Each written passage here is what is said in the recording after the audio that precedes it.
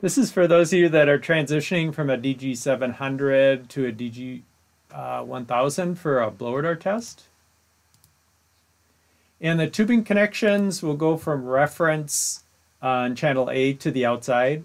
And with the DG um, 1000, instead of up down input reference, it's left right input reference. So we'll go reference uh, to on channel A to the outside, and then input on B to the fan and input on B to the fan.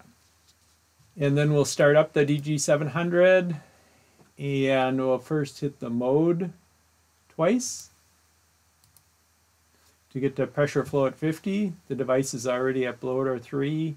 The config, we'll switch to uh, B2. And then we'll do a baseline. So hit baseline and start. And we'll let it go for a few seconds and then hit enter. And we'll hit start cruise, start, start fan.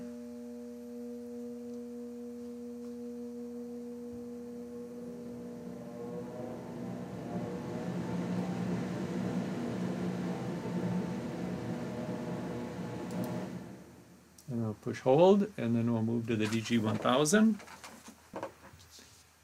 And this is the startup menu, and we'll click on the gauge app, and um, we'll hit the mode area here to go from pressure to pressure flow at 50. And then the device is Model 3 fan. Configuration, we can change to B, and then we'll go back. And we'll hit the baseline, and enter. Start cruise.